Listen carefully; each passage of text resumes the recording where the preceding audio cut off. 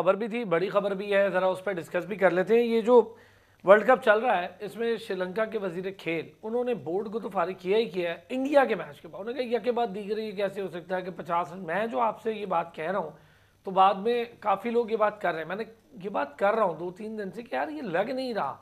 ये कैसे हो सकता है कि पचास और पचास के बाद पचपन, कोई तो प्लान होता होगा ना टीम के बाद। अगर यह के बाद दीगरे की आउट होना तो जम्बावे भी हो जाती। इसी तरह होती ना फिर बार बार होती। आप एक ही बायलैटरल सीरीज़ भी खेल रहे हो तो दो बार आउट हो जाए तो उस पर सारे चढ़ जाते हैं अब चार चार साल के बाद सर उन्होंने जो इल्ज़ाम लगाया वो सुने फारिग किया उन्होंने रोशन राणा सिंह ने वो फारिग कर दिया बोर्ड को और उसके बाद उन्होंने ये कहा कि भाई पहली बात ये है कि आप इल्ज़ाम बड़े संगीन है। उन्होंने कहा जी करप्शन है बोर्ड में और कोई ना कोई ऐसा काम ज़रूर बोर्ड गलत कर रहा है जिसकी वजह से हम ये परफॉर्म कर रहे हैं। देखिए देखिए ये दो चीज़ें एक ग्राउंड के अंदर की बात है एक ग्राउंड के बाहर की बात है। जब टीम हारी है चार पाँच मैचेस आ रही है उसके बाद क्यों करप्शन नज़र आई? एशिया कप के बाद क्यों नहीं करप्शन नज़र आई?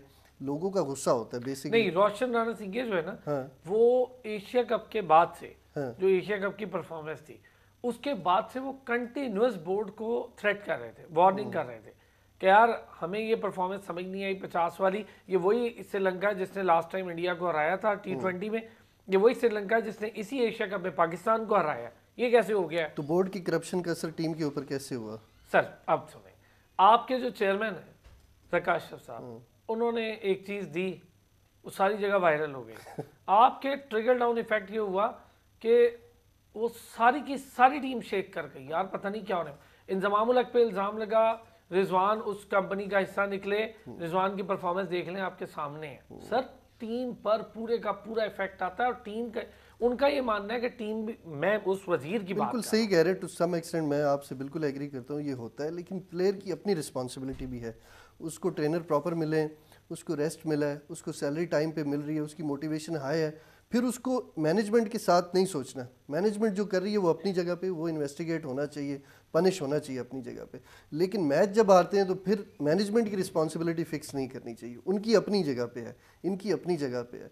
चूँकि देखिए पब्लिक का प्रेशर बहुत ज़्यादा है और वो सारा बोर्ड के ऊपर ही गिरता है। आपको मैनेजमेंट में बंदे नहीं मिल जाएँगे लेकिन ऐसे नहीं होता कि आपको एक नया कुशाल मेंडस मिल जाए इसको निकाल दें। तो इसलिए टीम को वो बरकरार रखते हैं टीम को तो कुछ नहीं कहा। उन्होंने जो कुछ कहा है वो बोर्ड को फारिग किया लेकिन उन्होंने कहा बोर्ड की बोर्ड की वजह से ये नहीं खेल पाए। सर पहला स्टेप यही होना चाहिए। मैं ये समझता हूँ। आप इससे पहले कि टीम पे नजला गिराएँ जो ऊपर बैठे लोग हैं उनसे पूछे भाई तुम क्या कर रहे हो? लेकिन देखिए ना ऐसे तो ना करें कि जनाब आप खेल को बिल्कुल ही साइंस बना के पेश करें और साइंस को बिल्कुल ही खेल बनाया हो।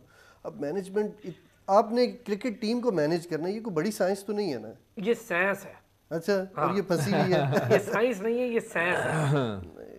है जी काश भाई क्या देखें जो कुछ भी होगा वो पूरा ऊपर से लेकर नीचे तक एक प्लानिंग के थ्रू होता है। ऐसे मैचेस जो पचपन ये नहीं होते कि कुछ साल मैंडेस ने सोच लिया तो पूरी टीम पचपन पे लेट गई या दो बंदों ने सोच लिया तो लेट गई। नहीं आपको फिर पूरे ग्यारह के ग्यारह को प्लान का हिस्सा नहीं, नहीं नहीं पहले तो हम ये बात करें कि अगर ऐसा अगर हम एज्यूम करें को प्लान था फिर पूरे ग्यारह के ग्यारह उस प्लान का हिस्सा थे। क्योंकि कोई भी उस प्लान से पलट सकता है। पचपन के डेढ़ सौ रन बनाना कोई इशू नहीं है।